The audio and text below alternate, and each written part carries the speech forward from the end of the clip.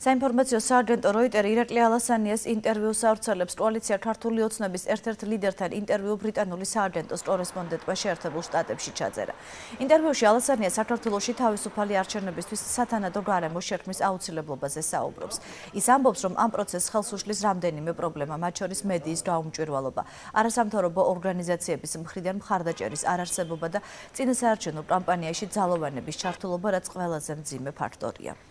We Georgians are freedom lovers. ჩვენ ქართველები თავისუფლების მოყვარული ხალხი ვართ და არ გსურს მოусმინოთ ვინმეს, როდესაც გვეუბნებიან როგორ ვიფიქროთ ან მივცეთ ხმა. ამიტომაც ვფიქრობ, რომ შეგვიძლია გქონდეს სამართლიანი და თავისუფალი არჩევნები. საამისოდ კი სათანადო ინსტრუმენტები გვჭირდება. შეერთებული შტატები და ევროკავშირი გვეხმარებიან ამ ინსტრუმენტების გამართვასა და ქვეყნის მდგრადი განვითარების გზაზე დაბრუნებაში. ასევე ევროპულ და ჩრდილოატლანტიკურ ინტეგრაციაში.